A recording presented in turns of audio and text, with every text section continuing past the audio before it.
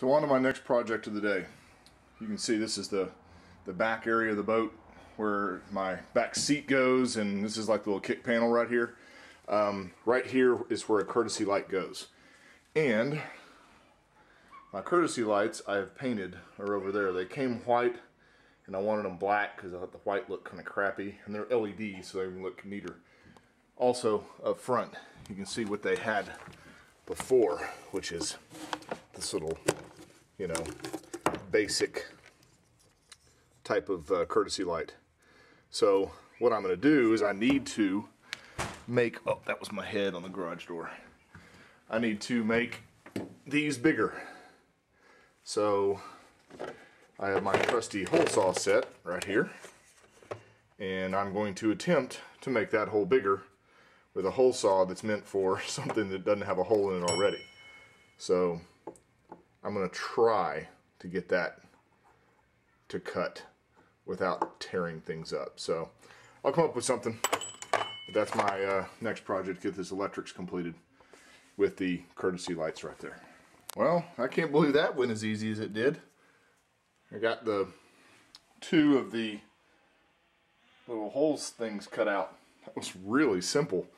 I just got the speed of the drill up real high and started like on one edge, just barely touching, just to kind of get it started and then push it in. That way it doesn't wobble all over the place. That turned out pretty nice. I'm impressed. Well, as you can see, I got the little courtesy light in right there and up in front. However, I'm just not sure I'm digging the white light versus the blue LEDs. I'm kind of thinking I want to go try to find some nice blue LEDs to work on that, but not quite sure. I really don't know. I guess I could put them on different switches, but I'm out of switches in the in the panel, so I don't know. I need to think on it a little while. I got all the electrics finished. Everything is complete. Everything works. The radio now works whenever you flip the switch it comes on and it has a constant to the battery so it no longer loses memory like we constantly had out on the lake last year. You turn off the ignition and it would uh, lose its memory. And uh, I put got kind of the itch to put some of the stuff back together. I figured I am done with all the wiring and everything so I started putting interior parts back in. So I basically as I was putting them in I completely cleaned them and uh, bolted them back into place. It still has my speakers and all that kind of good stuff. And then I need to make a panel that goes right here. It used to look like this one over here, which is this cheap baby blue, baby blue plastic, which uh, I'm going to basically, this one's going to go away too, and I'm going to make just some quarter inch uh, plywood wrapped in either some black vinyl or black uh, carpet. I haven't quite decided yet uh, to basically make a, a, panel. So that way I'll have my cigarette lighter for pumping up our inner tubes and the um, the circuit breaker for the uh, ignition. So had everything there. Now when I got everything in guess what? I didn't go up high enough with my DuraBak on the bottom side. Man I was pissed off when I saw that. I've been spent so much time doing this I thought I'd gone up. I thought those went the, the vinyl went down all the way to the floor. But obviously I didn't check. So I'm going to have to call DuraBak on uh, Monday and uh, see if I can just get a cord of it uh, to be able to just do a touch-up on the bottom. And it's on both sides too. You know, definitely a bonehead moment. But anyway, what's done is done. I can get that fixed. It's not a big deal. But uh, also put in the front, uh, all the cushions, cleaned them, as much as I could. My wife has been telling me she's going to get out here with a scrub brush and Goo Gone to get rid of this stuff that we kind of got on the seats last year during the summer. So uh, she'll get out here. That'll be her job after all this I've, I've done. A uh, hour meter. I've also ordered a new blower, um, new bilge pump. No, I haven't got a new bilge pump yet. I'm trying to decide whether or not to go with like a 500 or an 1100 gallon per hour. But that also means I'll need to change the through hull fitting if I go bigger. Um, I've also got a new battery tray, got everything. Uh, but it's uh, it's on its way.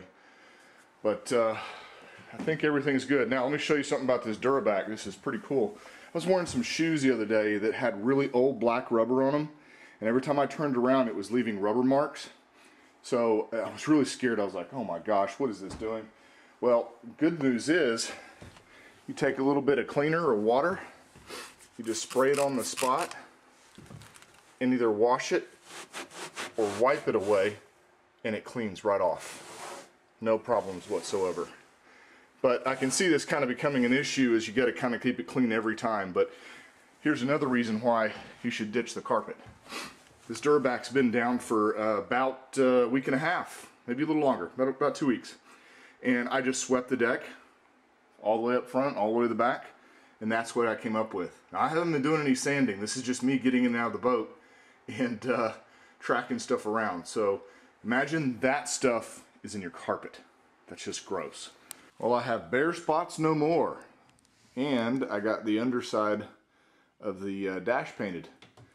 A quick trip and with a paint chip to uh, Lowe's, I got them to mix up some exterior enamel, um, which is, you know, real a lot harder than the, the water-based latex. So I figured for the touch-up and the spot that's up underneath the, the dash, it doesn't matter. I don't need to order a whole other thing of DuraBak to, to make it work.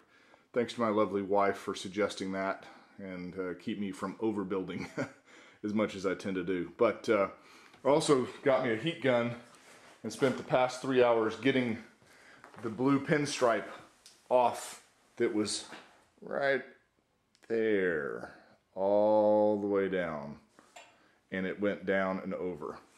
Uh, it was all dry and cracked and nasty and all that stuff. Also had a little pinstripe. If you look real closely, you can see the dirt mark right there left over from it all the way down the side. I'm getting all that off so that way I can completely clean this hole really, really good and get it ready for, ready for the Poly Glow. I don't really need Poly Glow. I mean, it's still got a decent shine to it, but it's not like it used to be. And if you get back into some of the areas, like in here, you can see some real bad oxidation. And what I did here, you can see I actually sanded down. This is really, really rough. I sanded this down with, I want to say 500 grit. I got pretty aggressive with it to get, this has kind of got a greenish color to it, and this is that beautiful royal blue and it, there's no glitter or anything coming off, so I haven't got into that yet. So I got a little bit to go. And then I had a brilliant idea how to uh, restore these. I was driving down the road the other day and saw a, a Glastron just abandoned in a, in a, field and it had two of these beautiful emblems and it just was, took all of me not to just walk over and drill out the rivets and take them. But I guess the honest guy in me said nope. So what I'm going to do is I'm going to actually spray this with um, gloss black uh, enamel. And then my wife, with her steady hand, is going to paint all of the these with an aluminum color from Testors that we that my son uses for his model cars. And then I'm going to just spray it with some clear over it, so that'll restore those nice and neat. And then I've ordered off of eBay some new chrome louvers that go here, along with the um, the vent uh, bilge vent uh, hose and all that kind of good stuff. But uh, I guess tomorrow I'll roll the boat out and do the other side that I can't get to right now. It's just too darn cold to raise a garage and do all that. So I'll do it tomorrow. And then after that, she goes back on the trailer. I mean, it's it's done. Other uh, once I do the Poly Glow next weekend, I'm good to go. And then uh, do the engine in about uh, a month, and uh, we'll be ready to go for uh, spring hopefully. And this has been a heck of a project, but uh, I'm I'm real happy with how it turned out. I still got to mount the seats, but that can be a 11th hour thing. But uh, I tell you, pulling off pinstriping, I got this little Wagner uh, heat gun.